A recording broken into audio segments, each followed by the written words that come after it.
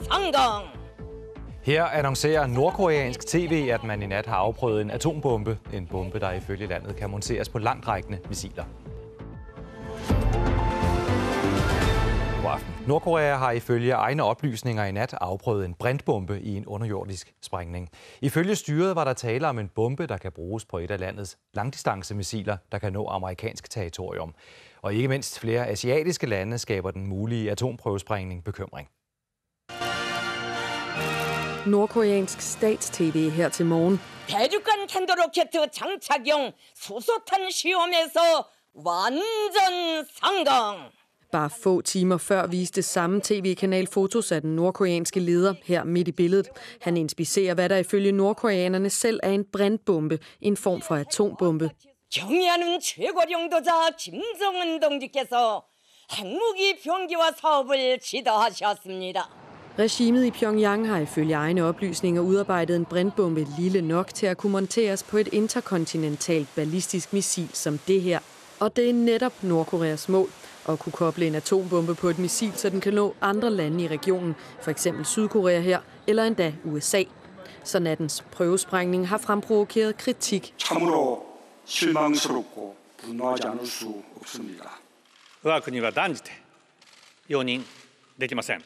det er 6. gang på 10 år, Nordkorea foretager en atomprøvesprængning. Den første udløste et jordskælvmål til 4,3 på MMS-skalaen. For et år siden måltes 5,3 ved en prøvesprængning. Det er 10 gange kraftigere. Og i nat måltes så 6,3. Det betyder en endnu 10 gange kraftigere rystelse. Okay. Netop nu er spændingerne mellem Nordkorea og resten af verden høje. Især USA har skærpet sin retorik over for det lukkede land de seneste uger. They will be met with fire and fury. Han tweetede her til eftermiddag, at Sydkoreas snak om eftergivenhed over for Nordkorea ikke virker. Nordkoreanerne forstår kun én ting. Nu med kollega Philip Kokar med. Philip, hvad er reaktionen i de asiatiske lande, ikke mindst i Japan, hvor du er lige nu? Der er bred fordømmelse hele vejen rundt. Her i Japan så er man selvfølgelig bekymret, fordi det er altså ikke mere end fem dage siden, at nordkoreanerne også sendte et missil over Hokkaido-øen, og nu den her prøvesprængning tidligt i morges lokal tid. Øh, Sydkorea naturligvis også været ude at fordømme Nordkorea, og selv Kina, der normalt er lidt mere diplomatisk og holder hånden en anelse over Nordkorea, har ikke forsøgt at, at skjule noget den her gang. De har også kritiseret øh, Nordkorea i meget kraftige vendinger. Der er ingen lande, der synes, at det her det er sjovt. Det kan selvfølgelig være svært at svare på, men, men oplysningerne kommer fra Nordkorea selv. Hvor troværdige kan man sige, de her oplysninger er? Jamen altså, nordkoreanerne overdriver formentlig altid en smule. Vi ved ikke med sikkerhed, om der er tale om en brandbombe. Vi ved heller ikke med sikkerhed, om de har missiler, der rent faktisk kan præcisionsaffyres til at ramme amerikansk vestkyst.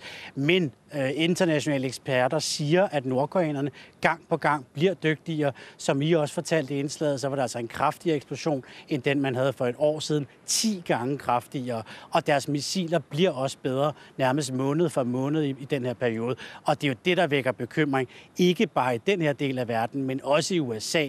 For Nordkoreas mål er jo i virkeligheden at få missiler og atomvåben, der kan nå til den amerikanske vestkyst. Nordkorea har ikke så mange allierede, men Kina vurderes at have meget, meget stor indflydelse på landet. Men, men hvad, hvad betyder det her for, for Kinas håndtering af, af Nordkorea? Kina og ikke mindst præsident Xi synes ikke, at det her det er sjovt. Xi holdt en tale i dag, hvor han ikke nævnte Nordkorea eller Kim Jong-un, men der var ikke nogen tvivl om, at han kritiserede Nordkorea mellem linjerne, og det var meget voldsomt i den tale. Det er jo rigtigt, at det er Kina, som i realiteten holder hånden over Nordkorea, men de er dog ikke desto mindre gået med til meget skrappe nye sanktioner for et par uger siden, der blandt andet betyder, at Nordkorea ikke kan eksportere kul og blandt andet fisk. Men det er tvivlsomt, at Kina vil gå med til endnu mere voldsomme restriktioner og sanktioner over for Nordkorea. De er bange for, at Nordkorea bryder sammen, og de er bange for, at Nordkorea, et genforenet Korea vil blive en amerikansk allieret.